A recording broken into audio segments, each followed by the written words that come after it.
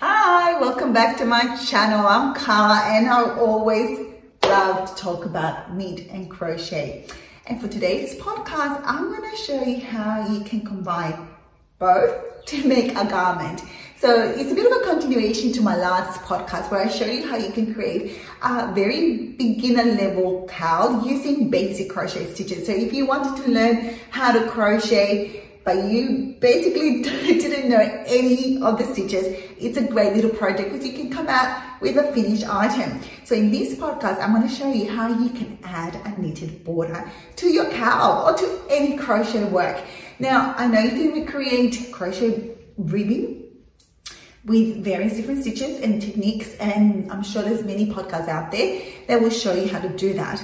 But I still love the look of a knitted ribbing. So K1 and Purl One it just is quite neat and the stitch definition is really amazing. So why not do a knitted border with for your crochet garments. So the first, I first encountered this in this um, crochet book, which is probably quite vintage, probably circa 1970s.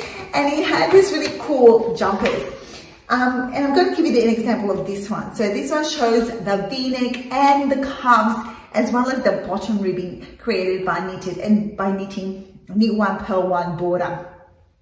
So it was actually most of the um, garments in this crochet book required a knitted border. And I guess it's because um, it is quite a nice finish to your garment.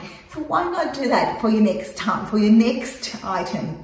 So in this little uh, podcast, I'm just going to show you how you can easily pick up stitches in your crochet work and and start knitting guys it's very simple. So you can do it with a I did I'm doing it with my crochet um, shawl but I've also done the same thing with a jumper.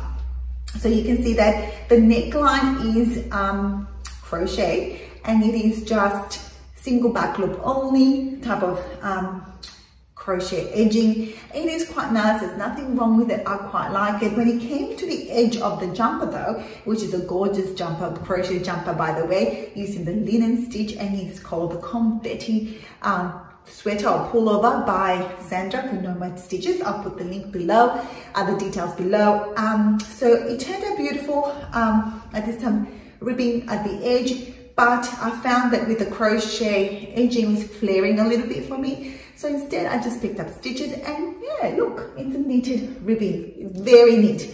So you can easily do it with any other garment and you have some, the, the wonders of crochet as well as your knitting. So let's get started guys. You will need some knitting needles of course. I'm using my Addi Circulars. So let's get creative. So this is the cowl from last week and it's perfect. I love it. I love the crochet stitches, but I did want to add a little border. So in my last tutorial, I showed you how to make this very simple crochet shawl. In this week, I want to show you how to pick up the stitches. Now, the cowl, like you can do this with any garment, any crochet garment that you have. Now, how do we pick up stitches? Well, in this cowl, we have a border of single crochets. So we can just easily pick it up using the single crochet as our foundation. So these are the stitches here. I'll get a close up.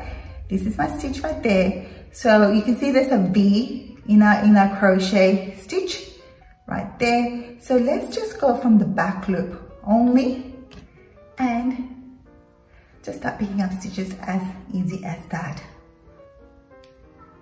Now I'm planning to do um, a ribbing of uh, 2 by 2 knit purl, knit 2, purl 2.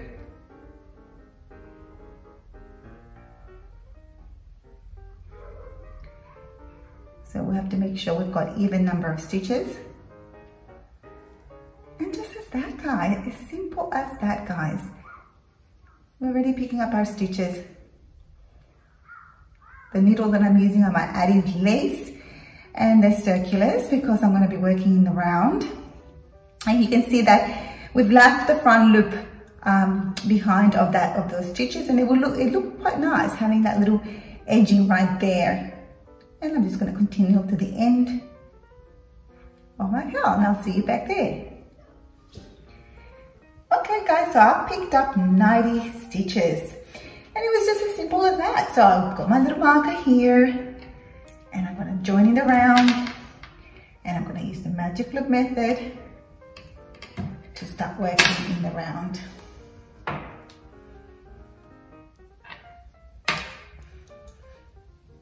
Isn't that simple? And I will do maybe five rounds of knit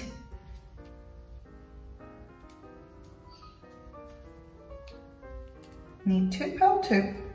To create a lovely border lovely border that is.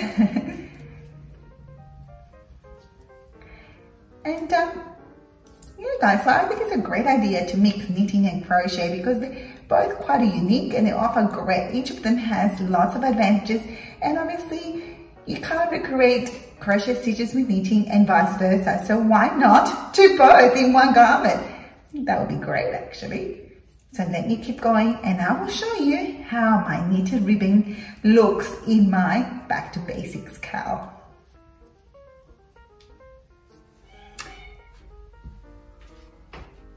Okay guys, so this is the finished product. Doesn't look look amazing. So you've got the beautiful crochet work with some created by some single crochet, double crochet, half double crochet, some slip stitches are in there. So you've got amazing texture and why not finish it with um, a knit two purl two border. I picked up 92 stitches in both ends which worked out really nicely. And you can see that um, right here,